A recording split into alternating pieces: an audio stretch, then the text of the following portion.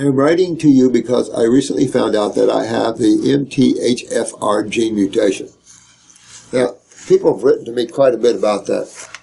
And I am here to tell you that medical doctors aren't near, now I don't mean this is negative, and I'm talking about researchers, do not know how to deal with genes and, and, and the mutation of genetic factors. I don't care what you say. And when you get into that, it'll confuse you, as it will them. They don't understand consciousness, memory, mind, how that all works in cells. They don't, they don't understand that.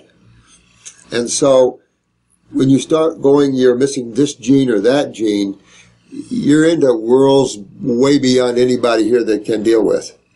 Because they don't, they, they can't deal with that.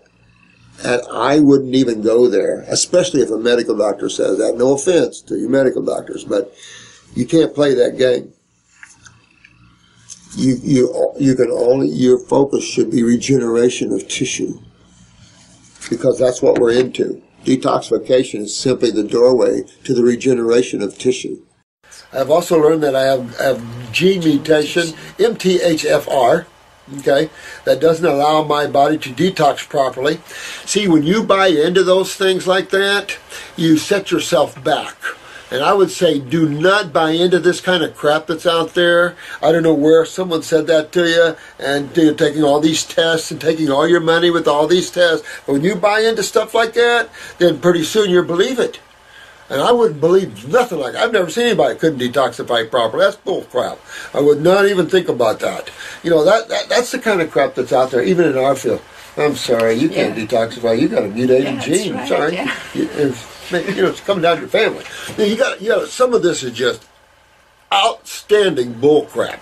Uh, MTHFR, scoliosis, back pain, and my thyroid. I wouldn't even, the MTHFR, throw that in the trash can and go on with your life.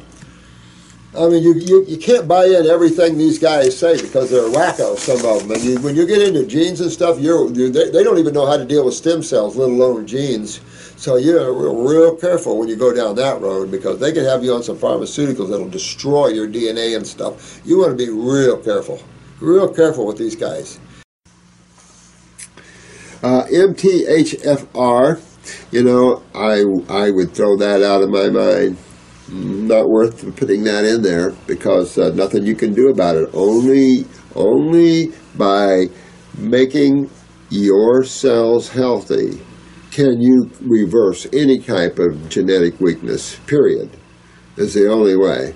And to do that, you have to be on a living food diet.